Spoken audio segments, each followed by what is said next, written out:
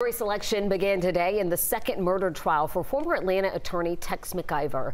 He was found guilty of shooting his wife in 2018, but the Georgia Supreme Court later overturned that conviction, leading to a new trial. 11 Alive's Bobeth Yates was in court today. She's joining us now live with more on what happened. Bobeth?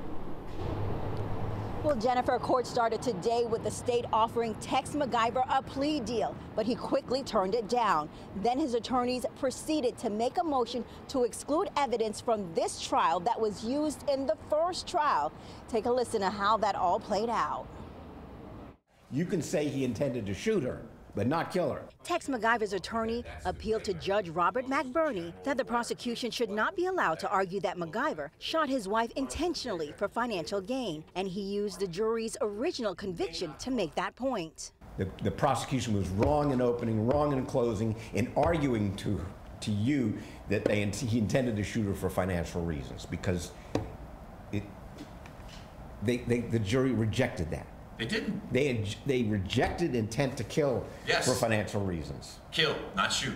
The judge wasn't buying the argument, making the point that only the jury who found McIver guilty in 2018 would know the details of that conviction, and the prosecution made a similar point. And the state submits this is not a case where the jury's verdict of acquittal as to the malice murder necessarily decided uh, that they did not believe McIver had the intent to kill his wife.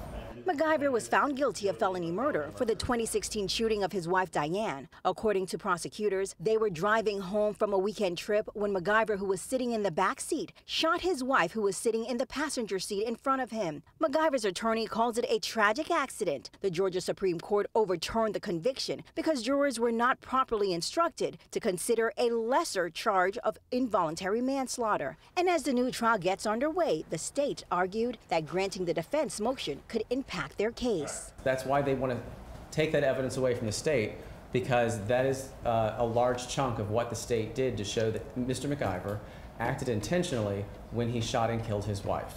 It would basically be taking the state and saying, yes, you get to retry the case, but no, you can't use the evidence of those charges. Now, the judge has not ruled on that motion to exclude the evidence as of yet. Instead, they moved forward with jury selection. They started with a pool of about 100 people. They got through the first 35, and jury selection will continue tomorrow. Sending it back to you guys. Okay, Bobeth, thanks so much.